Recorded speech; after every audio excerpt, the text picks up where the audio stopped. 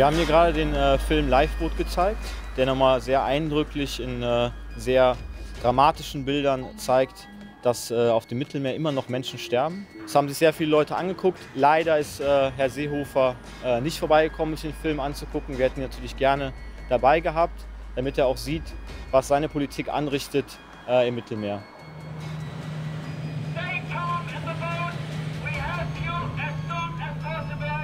Äh, ich bin hier, weil ich arbeite schon seit äh, langer Zeit in Griechenland auf der Insel Lesbos mit geflüchteten Menschen.